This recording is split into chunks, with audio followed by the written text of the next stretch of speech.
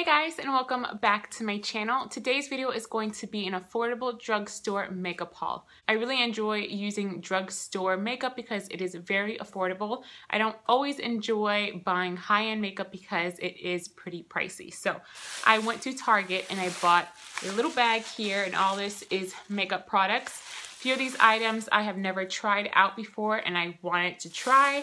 So Hopefully I enjoy them. Actually, one of the products that are in this bag, I did try out today, so I will let you know how I like it.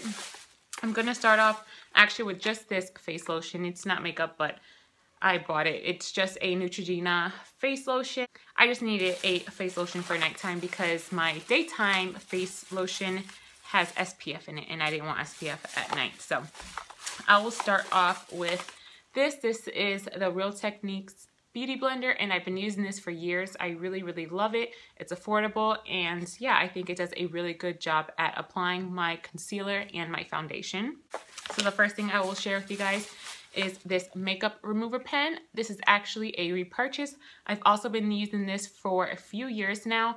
I really love it because a lot of times when I put on my mascara, I always get it on my eyelids. So this is really good to remove that mascara from your eyelids. It's also really good if you do like a winged liner and you need to clean it up a little. This will definitely help you clean it up. Next is going to be this HD Under Eye Setting Powder in Sheer.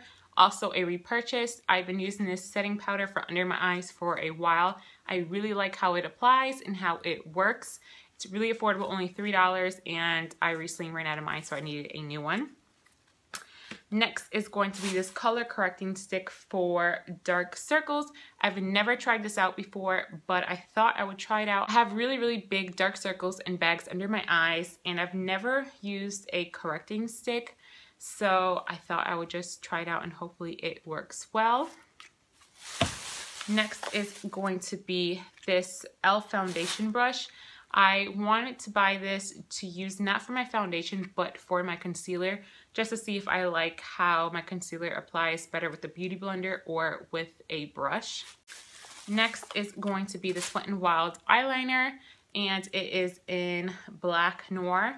So it's just the, I think it's a felt tip little eyeliner and it's just in black. I needed some new eyeliner. Next is going to be by Maybelline. It is a lipstick. It is Gone Greige 760. And I did already try it out yesterday. And it's a really, really nice, like, dark, dark, deep gray color. I'm not too crazy about how it looks alone, but I really like how it looks when I mix it in with one of my nude color lipsticks. It came out really, really nice when I mixed it with another lipstick. Next is going to be by Rimmel. It is their Stay Matte Pressed Powder in Creamy Beige. This is also a repeat buy. I love the way this sets my foundation whenever I do use liquid foundation. And then the last two items are going to be foundations. I'm really, really looking for a good drugstore foundation because I don't always like to use my high-end foundation because it is pretty pricey. So I needed to find a good drugstore foundation. So I picked up this Maybelline Fit Me in Matte Poreless. And I picked up the color Warm Honey. And then I picked up this one by CoverGirl. It is their True Blend in Classic Tan. The only thing that sucks though about buying foundation from drugstores is you can't test them out so you don't know which one is going to be your shade. So you kind of just have to play the guessing game. So I grabbed these two. I actually just tried this one out today and I think it's just not my color. When I was applying it it felt like it was way too orange and like right now I feel like my face and my neck is two different colors. I try to fix it up with my powdered foundation trying to make it blend and not look as bad as it originally looked. So I don't think I'm really going to be using this one because like I said, I just think it's maybe a shade too dark or just too orange. This is the other foundation that I have bought, which was, like I said, in Warm Honey. I'm thinking that this one might be a little better than this one. You can already tell just in the packaging how much darker this one is from this one. So hopefully this one works out. I like that it's matte because I can get a little oily. So hopefully this works out. So yeah, that is going to be the last item that I purchased from Target for my makeup. If you guys have tried any of these items that I showed you, comment down below. Let me know how you like them.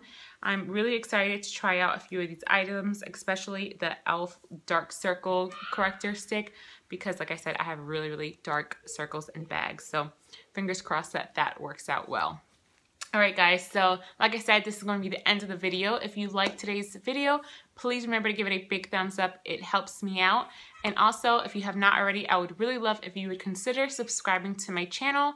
And remember to hit that notification bell so anytime I upload a new video, you will be notified. Hope you guys have an amazing rest of your day and I will see you guys next time. Bye.